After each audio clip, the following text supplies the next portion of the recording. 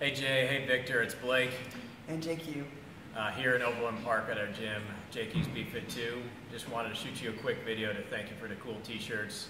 Next time we train, I want a blue one though. Mine's purple. I'm good with that.